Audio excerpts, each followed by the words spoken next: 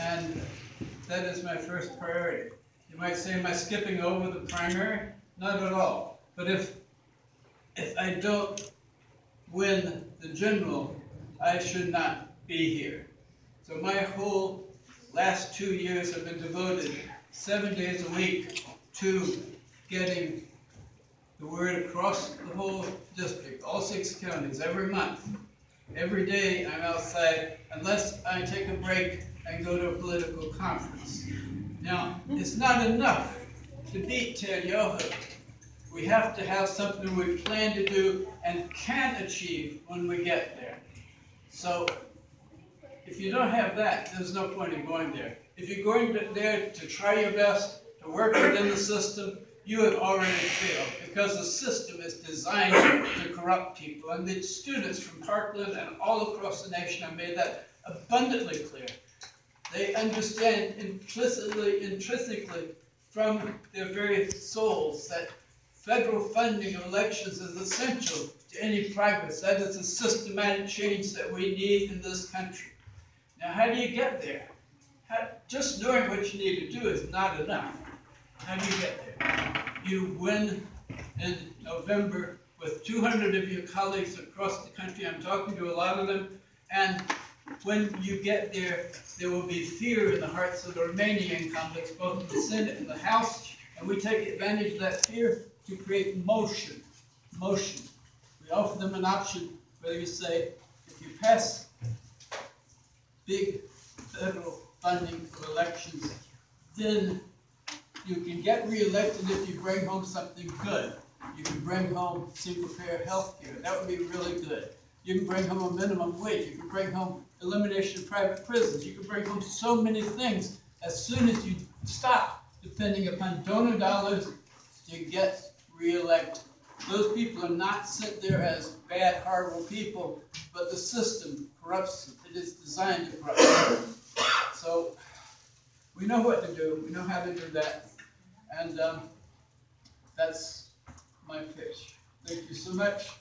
I do hope that people will join me working on this campaign, or on one of these other people's campaign. Whoever you think is best qualified to beat Ted in November, start working now, because ten weeks is not sufficient between August twenty-eighth and November sixth to win an election.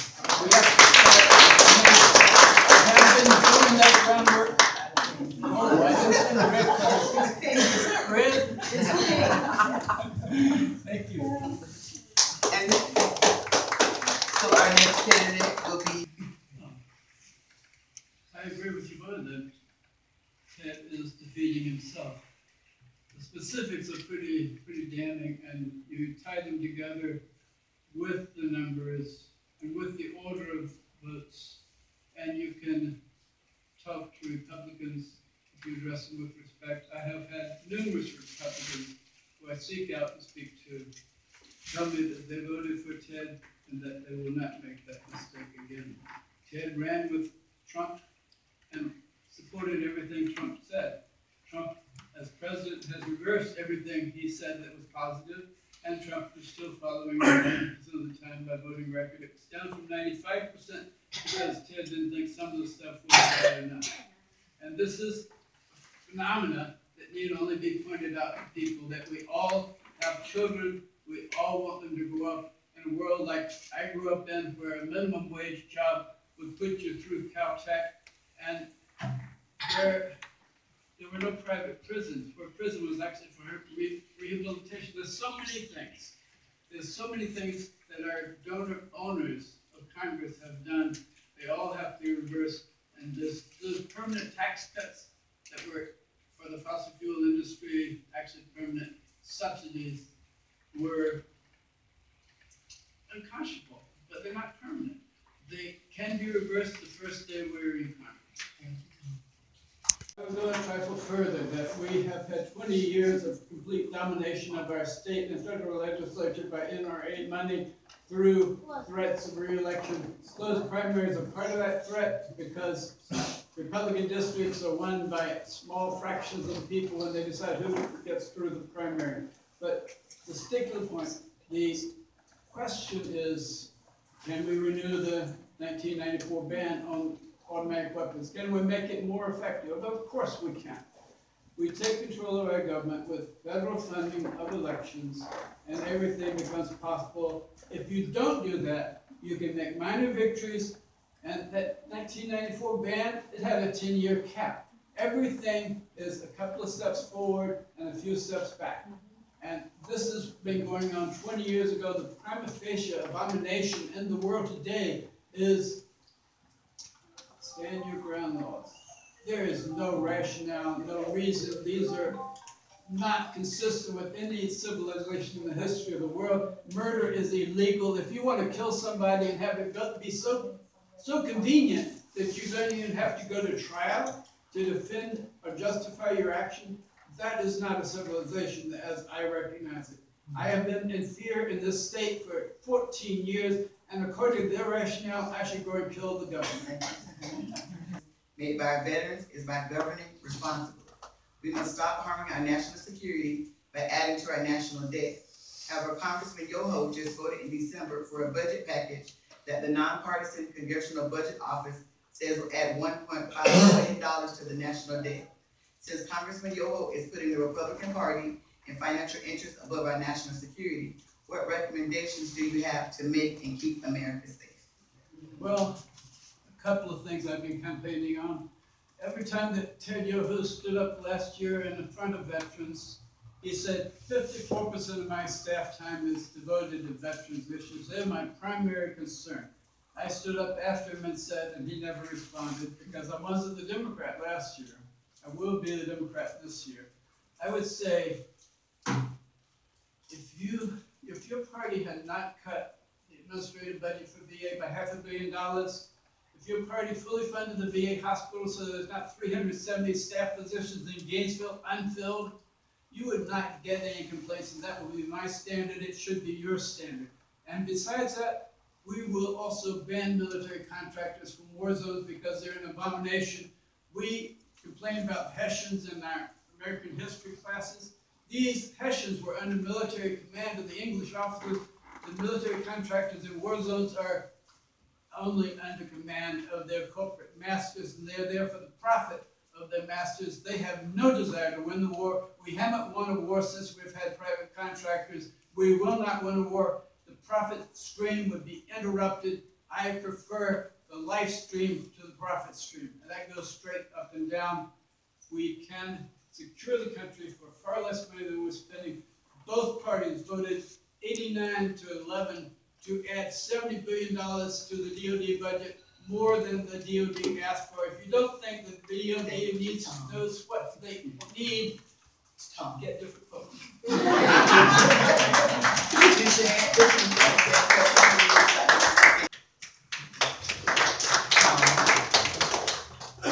Well, of course, the DACA children should, should be citizens. One of the interesting problems in this society is that we honor the rule of law, and the laws are not honorable. Hmm. And when you have requirements that a person who's applying for citizenship has to leave the country for ten years before they can become a citizen, that's an absurd law. The law is actually makes being an illegal alien only a misdemeanor, and we punish this misdemeanor by deporting the person and leaving their child who is a citizen born here. And yes, the party that claims to be the family values party mm-hmm. is the party that is destroying families, kind of universally. We should seek laws, make laws, contemplate what should be, and make that the law. That's why you go to Congress, so you can change the law and make it consistent with the moral values of this country as we once knew it.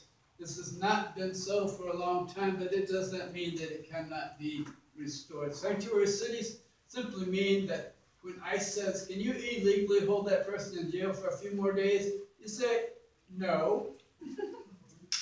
How hard is that? And you're gonna be punished for that by a government which is not our government? No, this makes no sense. Nothing that we're doing with respect to immigration does. I mean, Moving on, our next question, we'll actually start with Yvonne with this one.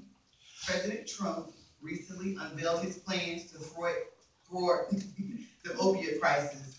A central feature of this plan is directing the Department of Justice to seek harsher sentences. Well, I don't think when Trump talks about death penalty for drug pushers, he's thinking about the same ones I'm thinking about. I'm- thinking about the ones who are flying around in corporate jets with a half trillion dollars of profit taken from the people of this country.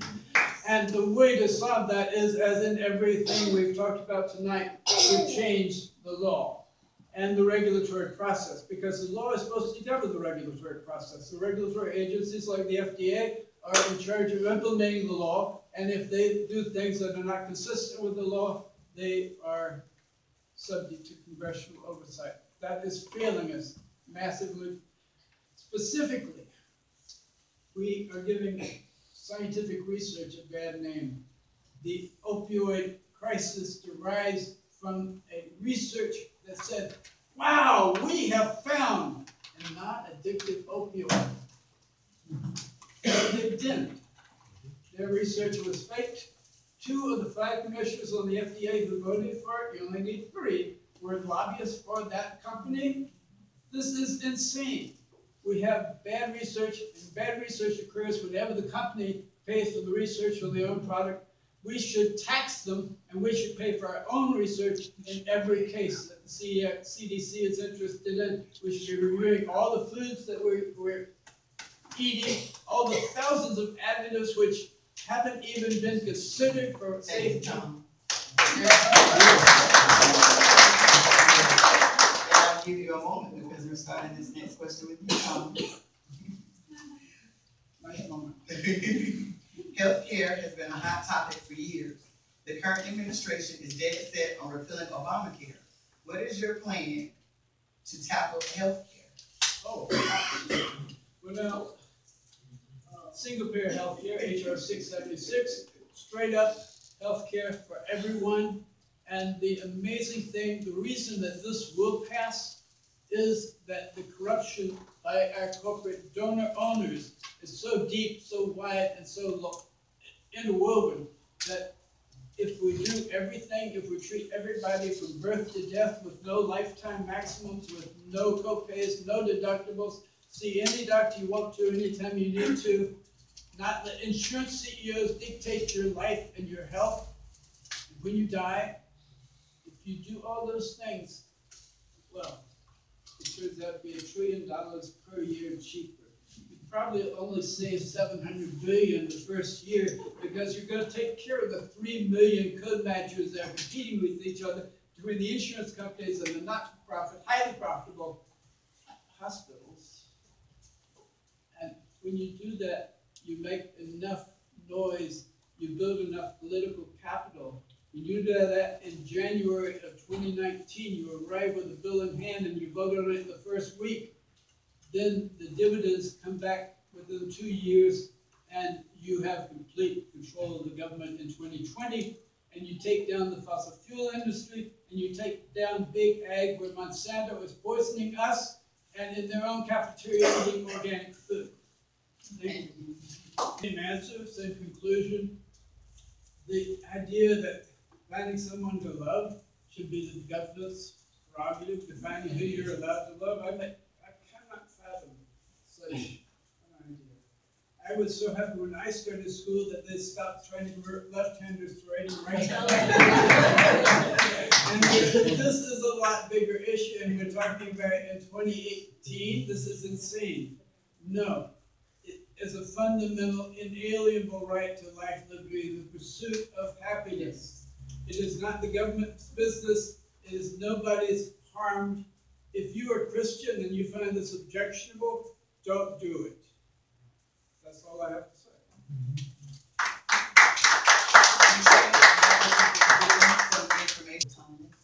Okay, it, contrary to what Yvonne said, true it has no positive effect, but it has vast negative consequences. And those you tell and reveal to Republicans by saying, look, they passed in the House, Ted Yoho and two hundred thirty-three of his buddies passed a budget resolution October twenty-sixth, which said, should there be a deficit in our future, which was already planned, then we will cover that deficit by cuts preferentially, no deep frustration of uniform cuts across the board. We will preferentially cut Medicare, Medicaid, DHS, and CHIPS. This is their idea of modifying healthcare. Let people die quickly. It is nothing except what Alan Grayson said eight years ago. And the tax cuts have absolutely en- enormous negative consequences for our, our small businesses, for everyone. But the immediate effect is slightly positive because there's so many people listening to Fox News that they go to each other's stores. And I have Republicans telling me their business is booming. And other people saying, well, I got a twenty dollar increase. Well, they had the IRS change the withholding rules, so people won't be getting refunds in April, but they will have voted in November. That is how devious they are and how little they have to stand for. and rich people. And as Tom said, small people get five dollars, ten dollars more in their paycheck. It is not going to do any good. And these tax cuts to corporations are going to bring deficit. How the government is going to bring money to provide all these services now. So it was just favor to his good friends from. Florida is one of half of US states that require students to pass a high-stakes exam to be promoted to the next grade or graduate, although empirical evidence demonstrates that high-stakes testing undermines efforts to improve education for all children, placing narrow, flawed instruments at the center of education while leaving out other approaches to assess learning. Additionally, this requirement disproportionately hurts minority and often low-income students and is a key contributor to major educational achievement gaps. What is your position on high stakes testing and educational equity? Well, my position is that high stakes testing is mill slop. It's a way to relieve teachers responsibility, you need to do that when you pay teachers so poorly that they have to walk dogs at night. In real country where they value the only renewable resource that we have, which is our children, they have teachers that they trust who are professional and know whether a student is performing up to par, even if they didn't have the language skills when they started there from a foreign country. In Finland, Ethiopians are, are learning, they get promoted not because they're passing the test and finish, but because the teachers know what their capabilities are and that they're working to their potential. And that is how I grew up, and I think it worked pretty well. So we must break the hold of government on the teachers and start respecting unions, and respecting striking teachers. And I'm hopeful that the teachers in Florida, attack on unions by the state legislature this year, will go on strike with the students, and they will learn more about America that way than anything we can teach them ourselves. They will teach us. We need to listen to our children. They're here to teach us. Well, there is good legislation.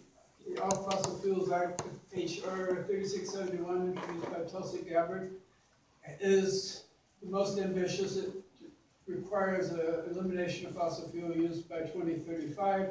I would amend that to include a hundred dollar per ton CO two tax and other greenhouse equivalents. Methane being thirty-six tons would have three thousand six hundred dollars a ton for usage. Coal producing three and a half tons of CO two for every ton burned would have a three hundred fifty dollar tax.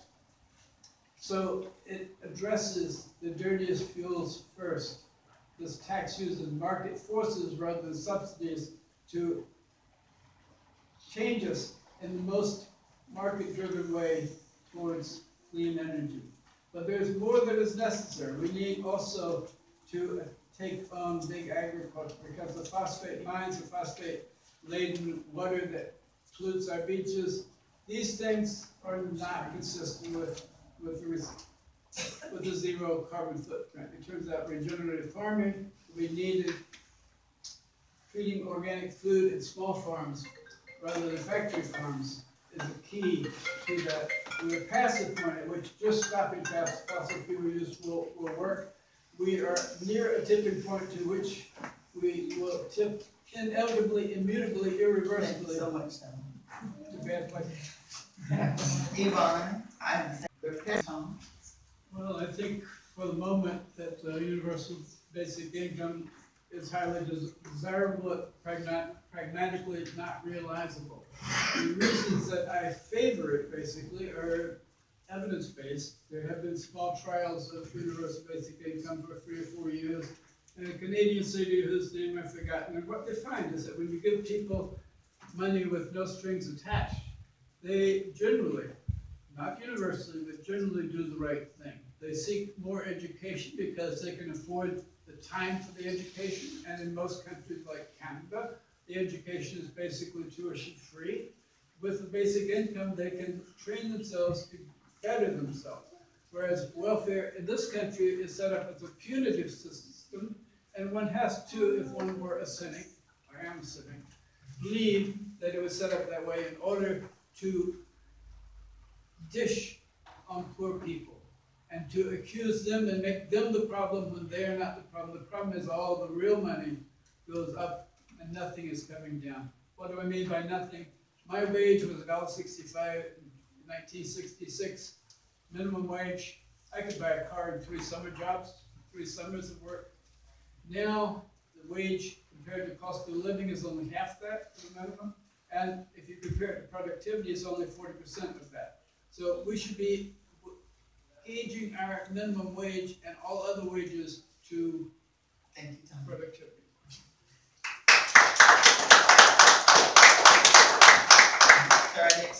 Well, oh, I completely concur with you on these matters. The brilliance of these students in increasing the intersectionality to include Black Lives Matter and the willingness of all parties to join together in common cause is the basis of revolution. We are in a revolution. I was praying for this two years ago when I started going out daily in the streets to campaign. I see it moving almost faster than I keep up with. I'm gonna get a surfboard. So I'll let Tulsi Gabbard use it. But every problem has the same origin. And when I spoke Saturday, I got to the point where I said, what we have to have is federal funding of elections. And this drew enormous applause because everybody understands it now. I thank the NRA for inexplicitly and arrogantly producing that effect by their complete domination of the legislative process for the last twenty years. And we will all those things. And while we're at it, we'll increase that intersection to be the whole country, starting with private prisons and private schools, and privatization of social security, and privatization of hospitals and water supplies, and privatization of streets. And we will turn it all around when we take the Congress. Thank you. What, what, My unifying message is pretty much what Bernie Sanders said last year. And he would have won last year. He was definitely the winner in this district in an open race. In a close primary, he almost won Flash McCain due to the efforts of Jim Powell and many, many hundreds of others people.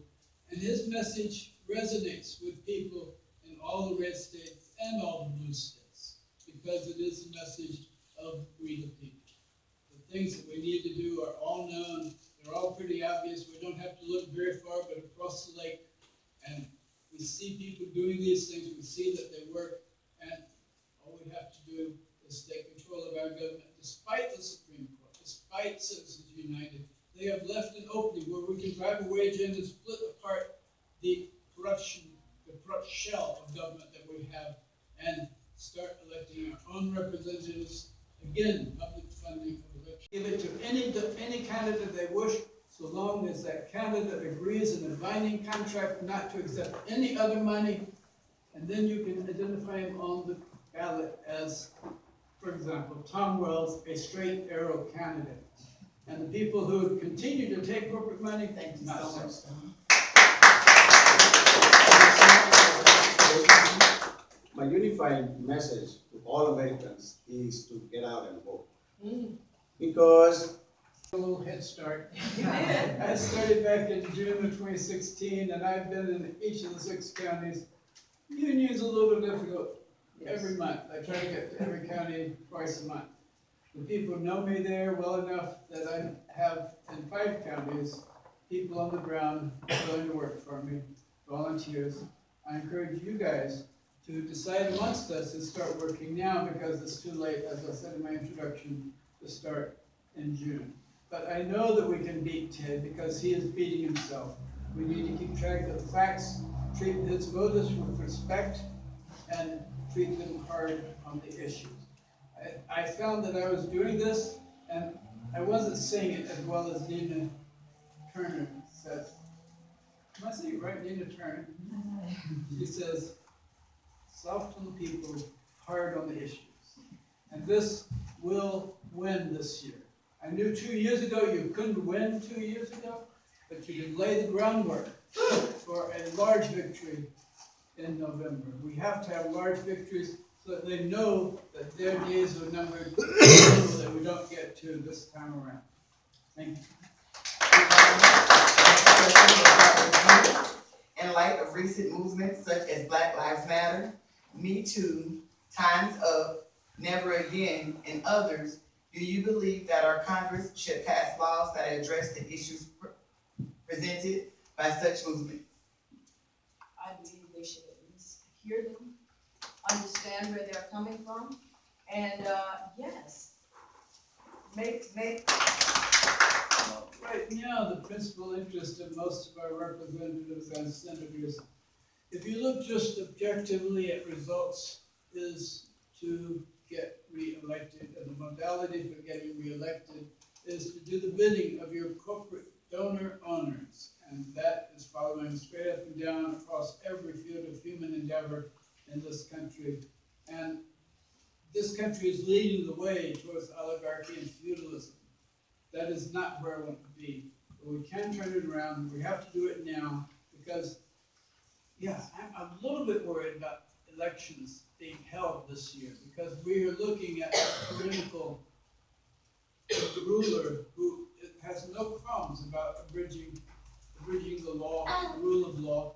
Because he's accustomed to being a CEO where anything he says goes, and if you don't like it, you quit. Well, you can't One quit. get So, that is enough. Of all the issues, what is the most important to you and why? Well, pragmatically, I think federal funding of elections is the keystone. Fundamentally, you have to get around very quickly to solving the climate change problem, because the precipice that we're approaching can doom the entire species. We're already going through a major extinction such as the, the geologist, paleontologist describes. We have lost so many, such a large fraction animal and, and, and ocean life. It is unconscionable. Even if you don't believe the absolute certainty, you have no moral basis for rejecting the fact that you have to do what you can, just in case all the scientists in the world happen to be right. People who are denying science are getting on airplanes that are designed in wind tunnels and flying around happily. Oh, I'm sorry, they're designed in computer, expected that you just take off an airplane after the computer says it'll fly, and it flies. But we don't believe the climate science is a very sad joke. The fossil fuel companies can be replaced without economic consequence except to them and the banks, and the wars are fought for those guys.